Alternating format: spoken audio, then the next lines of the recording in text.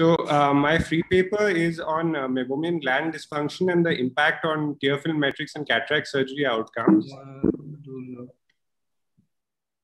Uh, at the outset, I'd like to declare that I have received a research grant from Johnson & Johnson for this study.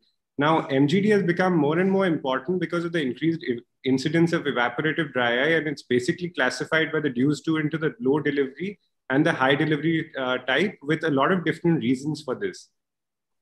Why is this important in cataract surgery? Because of certain preoperative problems like errors in topography and IOL calculation, along with postoperative issues such as irritation, poor visual quality, and poor tear film metrics like low TBUT and a low speed score. Uh, various different studies have shown that the tear film actually deteriorates after cataract surgery. Therefore, treatment of MGD before surgery is a must. With this in mind, we propose the research question of uh, whether newer modalities would be more effective in the treatment and would impact post-operative outcomes. The purpose of our study was to compare the standard of care versus LipiFlow, which is the vector thermal pulsation in the treatment of MGD and to analyze changes in the tear film characteristics in patients undergoing these treatments. The secondary objective was to study the impact of treating MGD before cataract surgery on patient satisfaction following the procedure. And this was a prospective randomized single center interventional hospital study. Consecutive patients undergoing cataract surgery, the same surgeon performed the surgery with the same type of IOL were included. And they were divided into three different groups, which was the LipiFlow group, the traditional treatment arm, and the no treatment arm uh, with a normal uh, TBUT, which was patients who did not have evaporative dry eye. The tests done included meniscometry, the usual Schirmer's, uh, fluorescein staining TBUT, non-contact TBUT, LipiView, and a speed score was conducted for all the patients. Uh, we excluded patients with corneal or retinal pathology, anything that could affect the, the surgery in terms of uh, uh, complications, prior refractive surgery, contact lens wearers, or patients on systemic or ocular medications that affect the tear film and vision. Uh, statistical analysis was done with the MedCalc software. Normality of data was looked at with the Shapiro-Wilk test. The data was found to be not normally distributed, and therefore we used the Friedman, Kruskal-Wallis, Mann-Whitney, and Wilcoxon test for analysis. The results, the initial preoperative comparison, this table just shows that all the data was comparable beforehand and there were not uh, significant differences except in the TBUT, which was a criteria for separating the groups. Uh, coming to the, the kind of uh, results for the no treatment group, which is group C, we saw that the speed, Schirmer's, uh, fluorescent uh, BUT, and the tear breakup time non-contact was significantly worse over a period of time of one month and three months post the, the surgery in the patients who had uh, not undergone any kind of treatment, which is in uh, correspondence which, with what, what has been published in previous data. In the conventional treatment arm, we saw that the fluorescent TBUT and the, the non-contact TBUT actually showed an improvement as uh, there were also changes in the higher order aberrations and the spherical aberration. In the LipiFlow group, which was the group A arm, we saw a significant improvement in the speed score, the TBOT, the meniscus height, the, the lipid layer thickness, showing that there was a vast improvement following the LipiFlow treatment. We also did a change analysis to look at the ratio of uh, uh, post-op and pre-operative parameters to see how each group was changing vis-a-vis the pre-operative parameter. Again, in this, what we see is that the LipiFlow group did significantly better both uh, than the conventional treatment and the no treatment arm in terms of tear film metrics.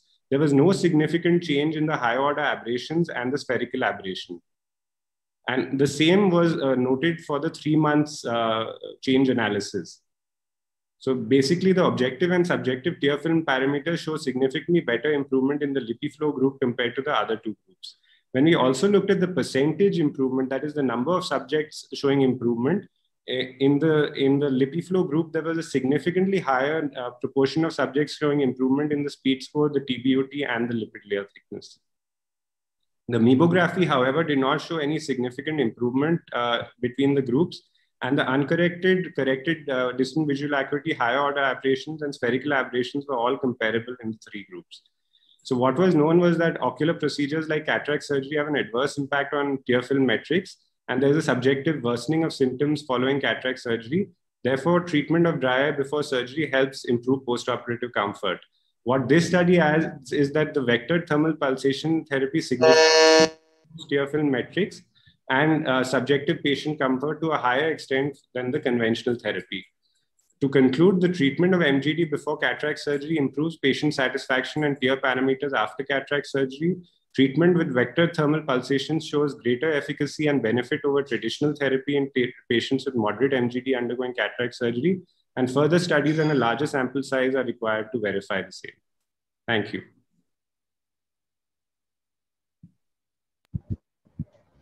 Uh, sir, may I ask a question to you? Yes, sir.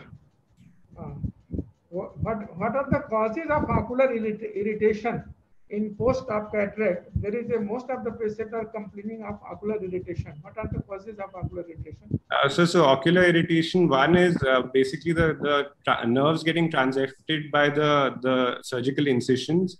There are also preservative in our eye drops, uh, which can cause ocular uh, irritation. There's disturbance of the tear film matrix and increased in incidence of evaporative uh, dry eye.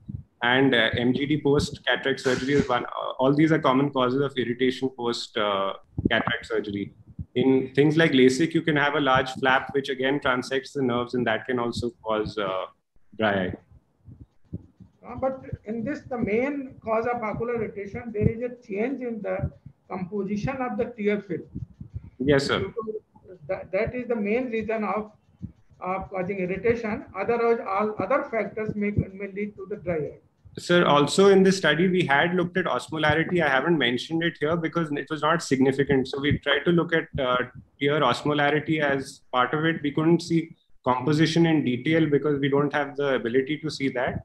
But uh, in terms of osmolarity, there was no significant change in the in the groups. Okay. Okay.